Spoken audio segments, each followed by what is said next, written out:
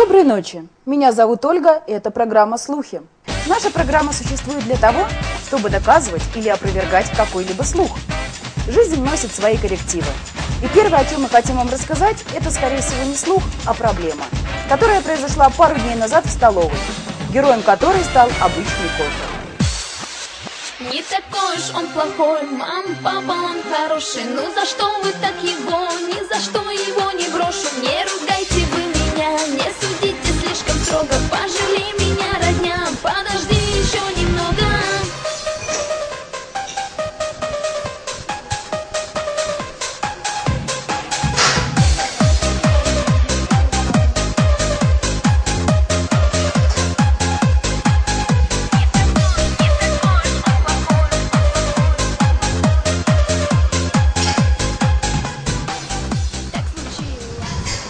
полностью игнорируют. Никто почему-то не подходит. Но мы будем усиленно ждать. Скажите нам, пожалуйста, хоть вы, с чем связано то, что сегодня у нас или кофе, или какао, вот оно с какими-то хлопьями? Не знаю, но это не ко мне, это к зампроизводству. А вот э, У неё мы, мы как-то кричим, а у нас Она мне здесь ответа мы не получили. Будем ждать еще кого-нибудь, кто нам сможет ответить на этот вопрос. Сегодня в столовой какой-то чудо-напиток. Сам пробовал его? Не, ну я вообще-то не решился. Ну, точнее как, я попробовал и сказал, что больше не могу сам себе. Это просто невозможно пить. А с чем это связано? Что говорят повара? Повара нас уверили в том, что это отборное молоко, добавленное непонятно в что, правда, не смогли объяснить. Мы решили их позвать и дать им попробовать самим этот чудо-напиток. Ну, как-то вроде попробовали, но по выражениям их лиц можно было прочитать то, что его пить невозможно. Это все. Бороться с этим каким образом стоит? Ну, сегодня мы им устроили разгон по полной программе, и думаю, уже завтра все будет хорошо.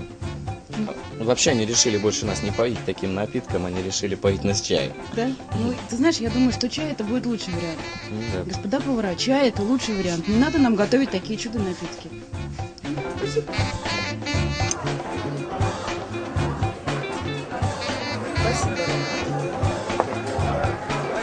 Нас сегодня напоили безумно клевым напитком.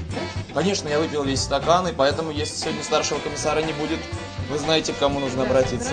Не, ну напиток мне это, очень понравился так на вид, но я его просто пить не рискнул. Что? Ну, обычный напиток, не знаю. Мне как-то выпила и не заметила.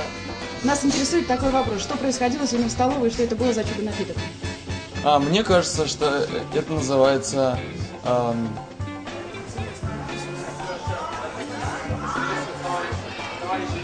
В данный момент у нас сок. Посмотрим, чем закончится это сегодня.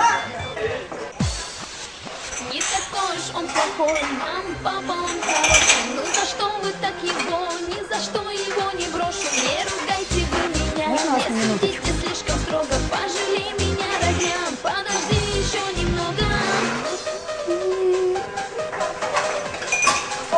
Девушка, скажите нам, пожалуйста, а что такое произошло сегодня утром с кофе? Честно, я, я даже не знаю. Я работаю на зале, я только разлажу. Ну, то есть, ну вы же так видели, может, это молоко свернулось или что? То есть, вот судя по этим хлопьям. Не знаю, но при камере я говорить не могу.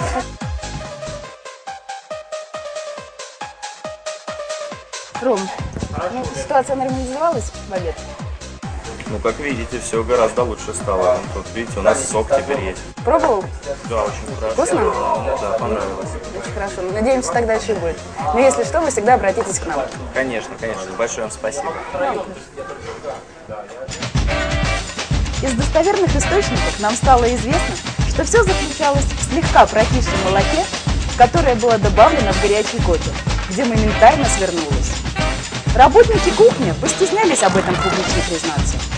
А вы помните, что программа «Слухи» может оказаться даже в вашей тарелке. В лагере ходит много слухов. Первый наш слух о том, что в первом профиле собрана вся творческая молодежь, которая приезжает уже не первый год. А второй и третий профиль поделили детишек младшим возрастом и которые приехали всего лишь первый раз. Ходят упорные слухи о том, что списки были составлены то ли случайно, то ли специально, то ли по ошибке. Мы постараемся опровергнуть вам этот слух. Я считаю, что это нечестно. Я с этой э, ситуацией столкнулась, собственно говоря, в поезде. То есть нас не было, мы ехали в поезде. Мне пришла смс о том, что Ален, у нас все формируется по возрастам. А, Писали дети причем. То есть никто из комиссаров, там, ни руководитель профиля, никто ничего не позвонил, никто ничего не сказал. Честно, как бы я была в шоке. Я так и понимаю, что люди знающие легко могут э, выиграть первый профиль просто тропу. Да, согласитесь, когда детям 17-18 лет, даже девочки, они сильнее физически, чем дети, которым 13-14 лет. Ну, в общем, я хочу сказать как. Вообще, я же не присутствовала на, на распределении детей. Вот, я приехала, как бы, я любой список приняла бы как данность, потому что я высказала только пожелание увидеть двух человек из стариков у себя. Остальных я, как бы, какого, кого мне дадут, того я и хотела взять. То есть, может, это какой-то эксперимент, может, еще что-то, может... Или просто вот так захотелось. Нет, ну как, естественно, с какой-то целью было сделано. Возможно, чтобы п- посмотреть, как получится, если детей разделить в профильном лагере по возрасту. Что из этого получится? По большому счету, третий, второй профиль, ну третий особенно профиль, молодцы, и они нас еще сделают не раз. Ничего не понимаю. Слухов стало еще больше. Думаю, точку поставит руководитель сборов Николай Петрович Сенченко. Э, Если так, подвести всему этому итог, то есть это такой, скажем, эксперимент. Да, это педагогический Да. эксперимент вот в таких условиях. Скажем, сейчас пытаться, например, первому профилю добавлять ребят 13-летних, понятно, что э, возникнут проблемы. Точно так же, как и мешать остальных ребят, и мы не хотели этого, потому что мы видим, что есть психологические а, возраста, которые оказывают воздействие на ребенка. И находясь со старшими, ребенок бы не очень себя хорошо чувствует. Не все, конечно, но определенная часть, да. Все. Это еще что-то надо. Итак, как мы выяснили, это на самом деле оказался простой педагогический эксперимент. Это была программа «Слухи». Надеюсь, до завтра